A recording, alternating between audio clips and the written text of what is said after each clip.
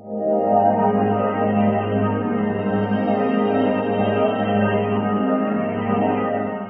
kính chào quý vị và các bạn. Hôm nay tôi xin chia sẻ với quý vị và các bạn thiết bị đồng hồ đo đa chức năng model DPM 380 của hãng Macro.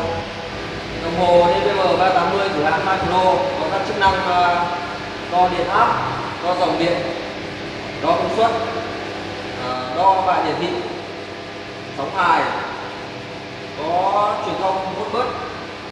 Với các tính năng à, và ưu điểm như vậy thì nó được lắp đặt trên các à, bề mặt của tủ điện phòng hạn chế các à, tòa nhà chung cư cao tầng khu liên hợp các công trình xây dựng nhà máy xí nghiệp.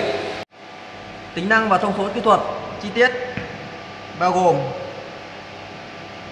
đo mức hiển thị, dòng điện. Trên pha pha 1 2 3 và dòng trung tính. Trung tính là 0 ampe. Đo hiển thị, hệ số công suất, cốt phi. Hệ số cốt phi tổng. Hệ số cốt phi trên ờ, từng pha. Và đo hiển thị tần số. Đo hiển thị công suất tác dụng kW công suất phản kháng kVR công suất biểu kiến kVA. Đo điện năng cho kWh kVA RH và kVAH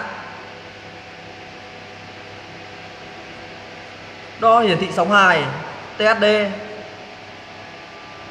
dòng điện, pha 1 pha 2 pha 3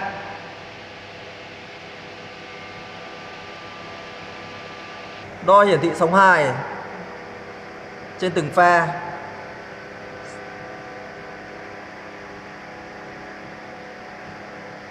Hiển thị số ngày hoạt động, số giờ hoạt động và số phút hoạt động.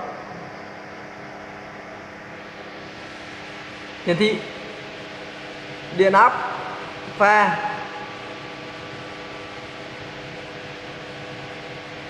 Điện áp dây.